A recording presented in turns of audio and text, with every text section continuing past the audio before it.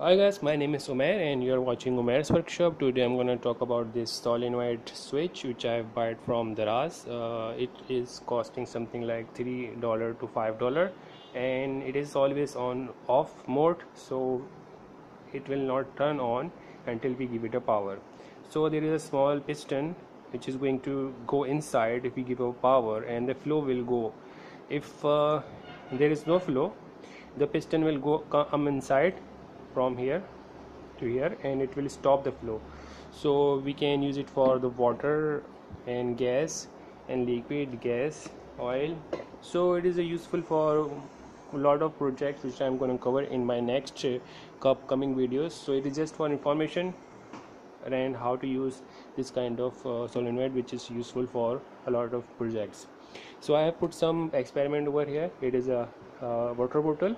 It is connected on over here and is gonna flow open the flow when we're going to going to give it a current. So as you can see I'm uh, putting up over here and there is no water flow over here in this side. So when I'm going to give it a power it is going to. Let me give it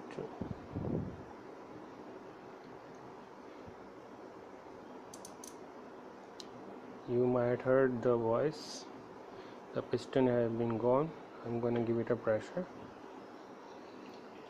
So you know it is starting to flow because there wasn't any pressure so I am getting it.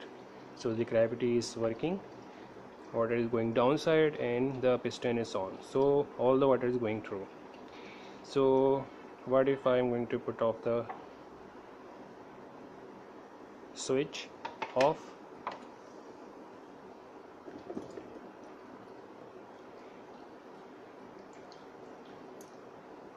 As soon as the switch is off the current flow is not going the water flow is off so that's how it works. Basic of the solenoid switch.